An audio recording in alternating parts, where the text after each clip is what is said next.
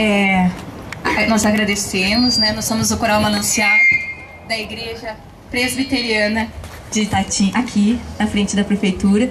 E a nossa cantata será agora no domingo, dia 22, onde nós vamos estar cantando todas as músicas da cantata. Nós cantamos duas só aqui, né?